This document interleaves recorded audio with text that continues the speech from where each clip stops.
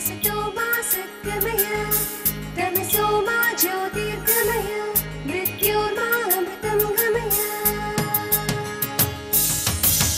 असतो मा सद्गमय तमसो मा ज्योतिर्गमय मृत्युर्मामृतं गमय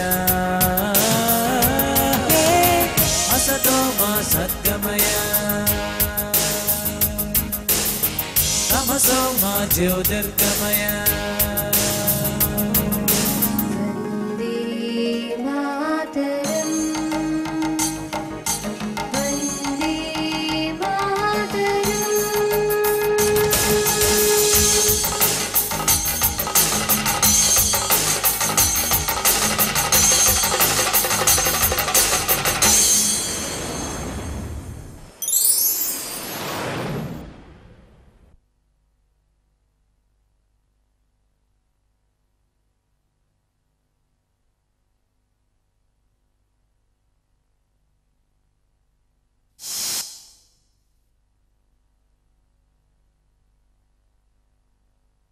Generally stated, the objective of this episode is to help the children master a few skills of English language. What do we mean by mastering the skills of a language? I believe it can be composed of four skills. One, one has to master the sound system of the language. Secondly, one has to get a large number of words in the language. And thirdly, one has to learn the structural pattern in which the words are arranged in order to convey a kind of sense in that language. And fourthly, one has to choose the kind of sentence form that would suit uh, the occasion for communicating. So these are the four aspects of learning a language. For the listening practice session, we have a description of Veli and Akula.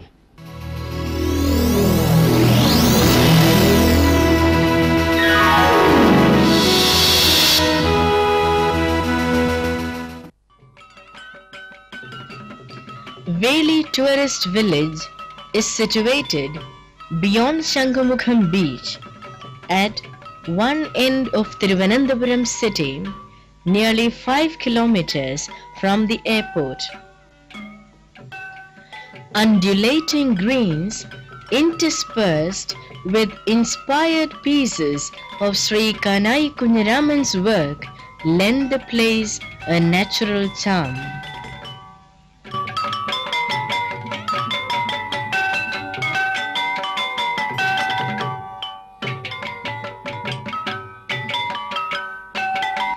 The Shankar that greets us in the water near the entrance is a beautiful piece that blends with the ocean environment.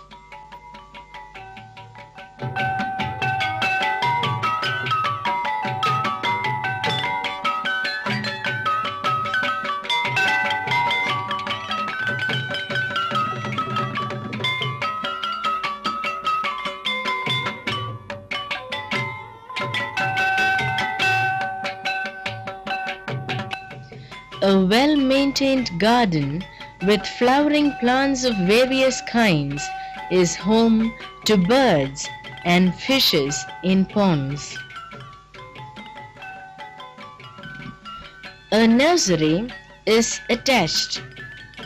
Abstract sculptures in the midst of the sprawling lawns lend an aura of feminine power.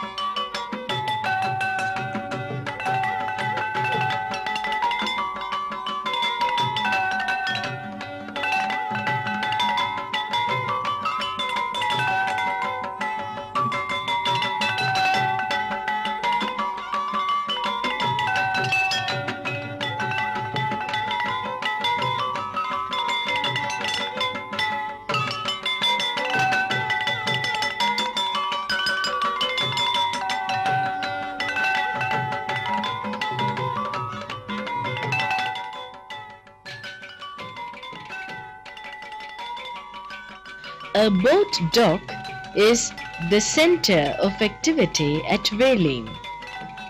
Pedal boats, row boats, speed boats and paddle boats are available for hire.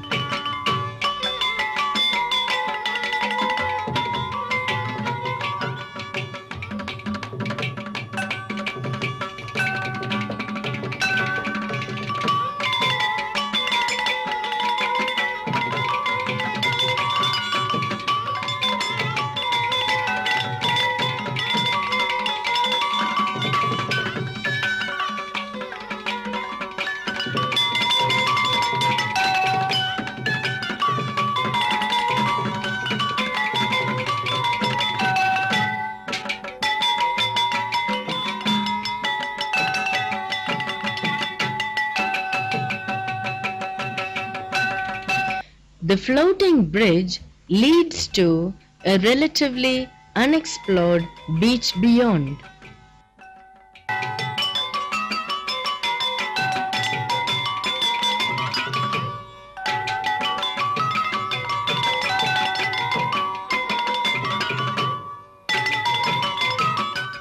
The beach is virgin, the sands golden. A new pathway constructed along the water's edge leads right up to Akulam, the neighboring tourist spot. Families consider Veli a pleasant picnic spot. The landscaped garden and the greenery blend with the nature around and add to the grandeur of the water's edge. The sight of traditional boats carrying coconut husks and other goods through the waterways takes us back to the ancient days of trade and commerce.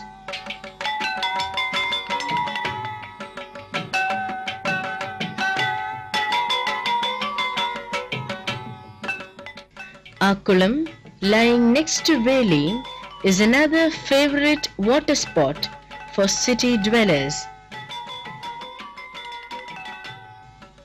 It lies along a long stretch of backwaters between islands of coconut groves and the ocean beyond.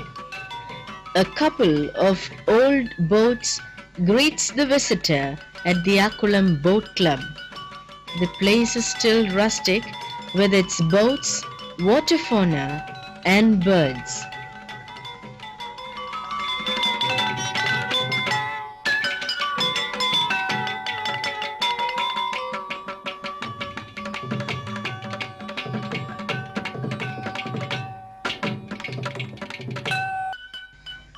A water park, hilltop resting place, children's park, and a musical fountain are the major attractions for tourists.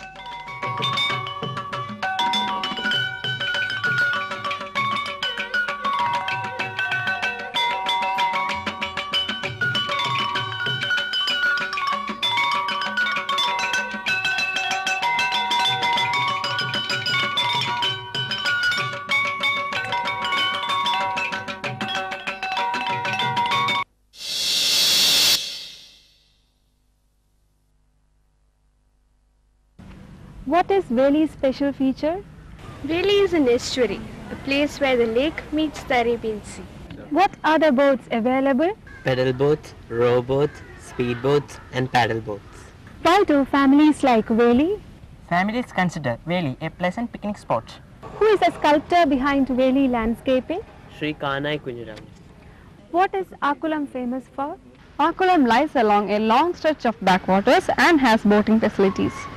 What are the major attractions at Akulam? Water park, hilltops, children's park and the musical fountain are the major attractions.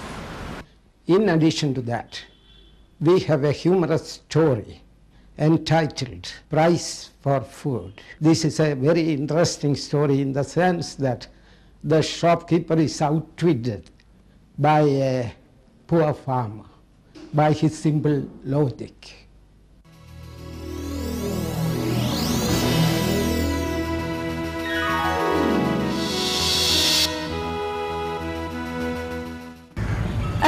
Shop owner once tried to fool a poor man. Do you want to know what happened then? Once upon a time, there was a poor farmer. His sugarcane fields did not yield much by way of harvest, and he always found it difficult to make both ends meet. Often, he and his wife went hungry trying to feed their three children. He worked all day among the shoots of sugarcane and returned home by dusk. There was a bakery on his way home at the main junction. It sold sweets and snacks of various kinds and was a busy place. Children and adults gathered alike to buy the goodies. One evening, the farmer was on his way back, exhausted from watering and weeding the fields. As he reached the shop, he was attracted by the mouth-watering smell of freshly baked cakes. He took a look. There was a set of cream cakes with chocolate icing on a platter. His eyes ached with longing. He wanted to taste a piece himself and buy some for his family. He hesitated for a moment, but knew that he did not have money to buy even a single piece of the delicious cakes. Sad, he turned back on his long walk home. Just then, the shop owner called out to him in a rough voice, Hey you, stop there! Where are you going without paying me? Paying you? What for? asked the farmer quite alarmed. For the cakes, was the cool reply. But I haven't had any cakes, protested the poor farmer. That's true, confirmed the owner. But didn't you, Watson, enjoy the smell of the cakes? That's as good as eating it. The farmer grew quite confused. He did not have the strength to argue with a cunning fellow. Moreover, he had landed in this tight spot by tarrying at the shop entrance unnecessarily. He looked around, racking his brains for a way out. Next to the exit stood a man watching the scene with interest. He called the farmer to his side and whispered something in his ear. The shop owner tried to eavesdrop but failed to hear a word. The farmer's face brightened. He went up to the shop owner and put his hand in his pocket. The latter was happy, thinking that he could now fleece the fool. The farmer rattled the few coins in his pocket. Hurry up, said the shop owner. He wanted to finish off the deal before someone else intervened. I've already given you the money, said the farmer. What do you mean? said the irritated shop owner. I only heard the coins in your pocket. Well, said the farmer, if watching a plate of food is as good as eating it, rattling coins is equivalent to paying for it. He walked out of the shop, his head held high. The shop owner withdrew into the shop, defeated.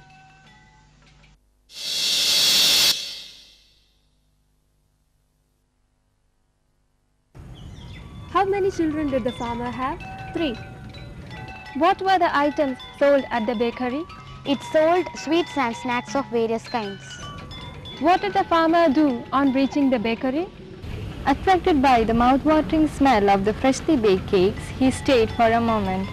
He wanted to taste a piece for himself and buy some for his family.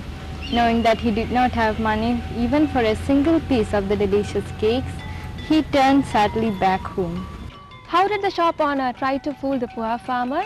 The shop owner demanded money from the farmer. When the latter replied that he had not bought any cakes, he said that the smelling the cakes was as good as eating them and therefore should be paid for. The farmer grew quite confused. Who came to the farmer's rescue? A man who stood near the exit watching the whole scene came to his rescue. How did the farmer get out of the situation? The farmer went up to the shop owner and rattled the few coins in his pocket.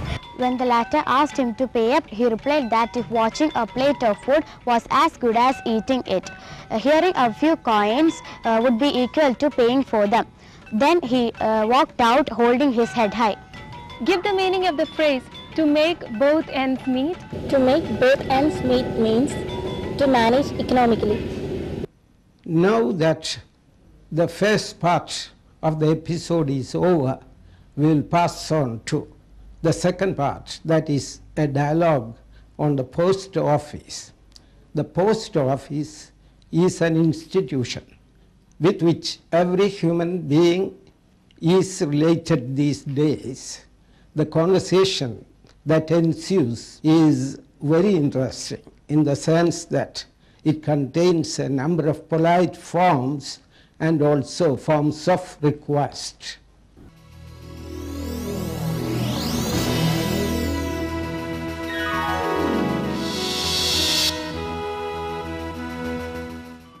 Good morning. Can I help you? Good morning. I would like to buy three 5 rupee stamps and four cards. Three stamps and four cards. Here you are. How much will that be? That will be 17 rupees. This is a registered letter for Bombay. The total amount will come to 55 rupees. Do you have change for a 100 rupees? Sure.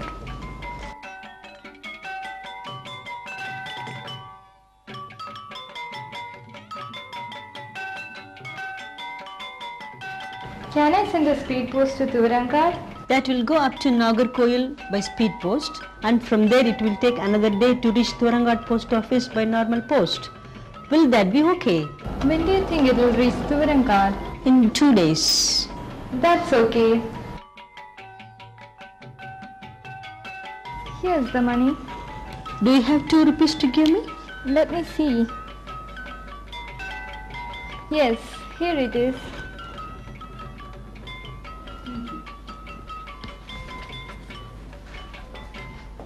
The polite forms used in this conversation are, as you must have noticed, good morning, can I help you? Good morning. Can I help you? The response, good morning, and the final thank you. Let's now take a look at sample sentences used in this kind of a situation. Good morning. I would like to buy three 5 rupee stamps and four cards. I'd like to buy three 5 rupees stamps and four cards. How much will that be?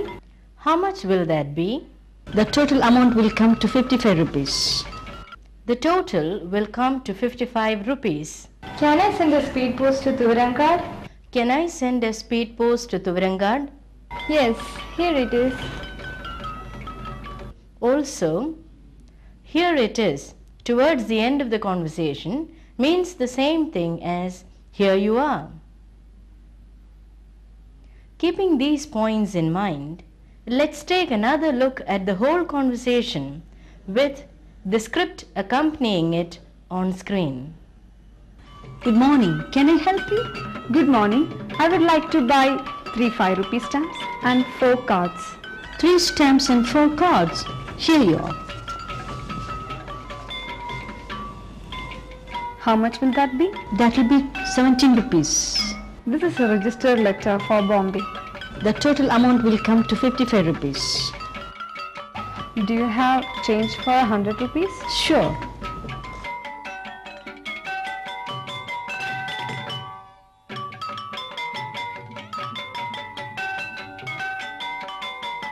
Can I send a speed post to Tuvarankar? That will go up to Nagercoil by speed post and from there it will take another day to reach Thurangat post office by normal post.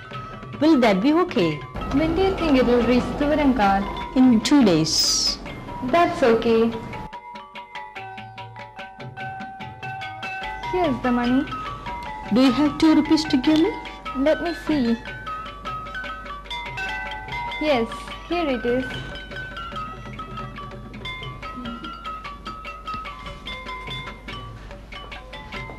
Presently, we are going to part 3 language practice. Here, the children are exposed to a number of life situations in which the use of prepositions is significant. Uh, actually, the use of prepositions is a tricky matter even for the native speakers of English. So one has to pay special attention to the kind of preposition that has to be used along with certain verbs, certain adjectives, and certain other words.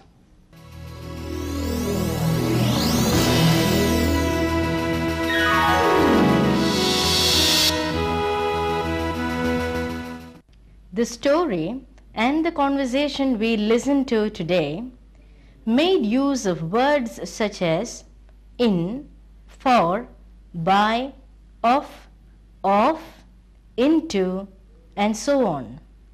Such words are known as prepositions in English. Now, what do we need to know about prepositions? Very little. One, that prepositions are called so because they are prepositioned or positioned before the noun or pronoun or any other part of speech that they might govern. Second, they try to show the relationship between an object and the noun or pronoun that follows the preposition, as in the case of the sentence, the jug fell off the table. Here, the jug fell. From where or to where is shown by the preposition of.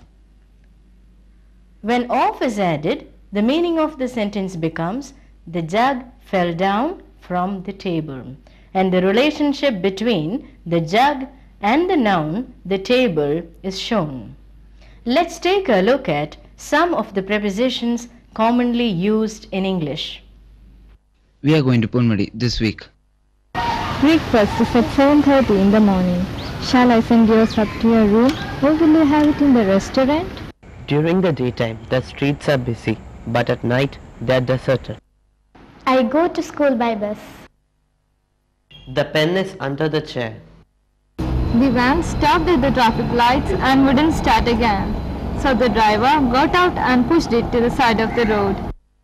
I have lived in Ernakulam since 1998. This letter is from my brother. We went for a walk in the evening. The jug fell off the table and broke into pieces. This book is about Thiruvananthapuram city. Will you come with me to the parking lot? Throw away that pen, Murli. It is damaged. I'm not going for lunch until we have seen the whole complex. We have to wait till it stops raining. Prepositions may be basically simple, complex, and stranded. Simple prepositions consist of short, simple words, the kind that we've seen so far. Complex prepositions, on the other hand, may consist of two or more words and may form phrases such as in addition to, disagree with, composed of, and so on. Stranded prepositions are those in which the prepositions come at the end of a sentence, as in, Who do you work for? or Which car did you come in? Let's take a look at some of the complex prepositions. In the case of complex prepositions, we see that certain prepositions go with certain verbs. The museum complex consists of the zoo, the art gallery, and the palace.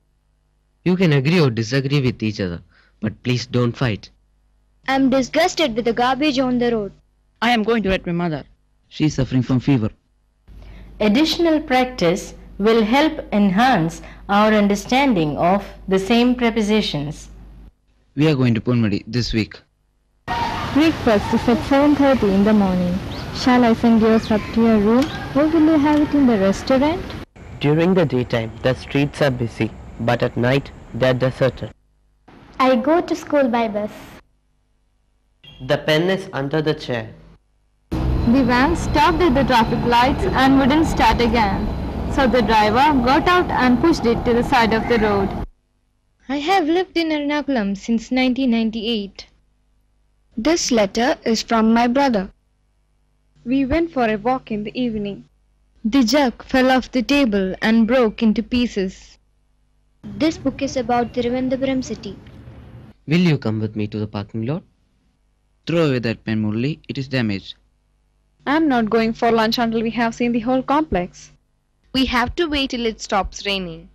The museum complex consists of the zoo, the art gallery, and the palace.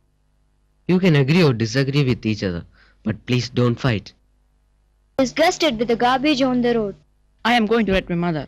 She is suffering from fever.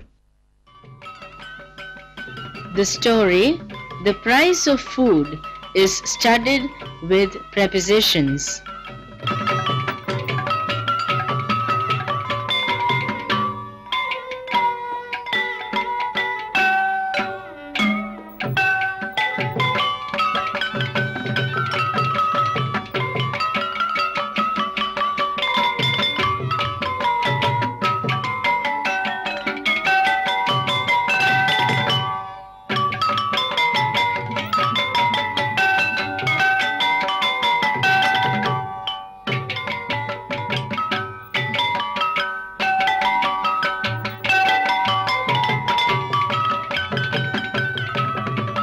So we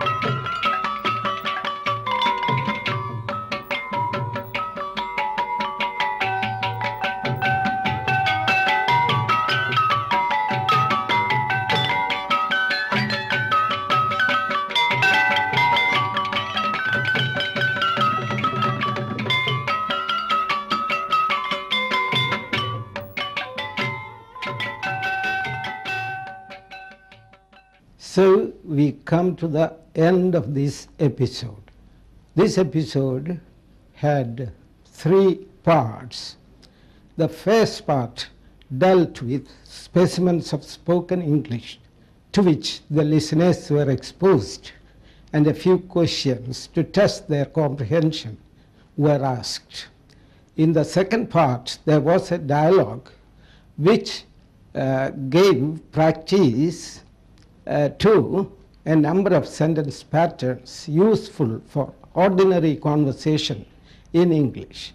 The third part deals with a few points of usage.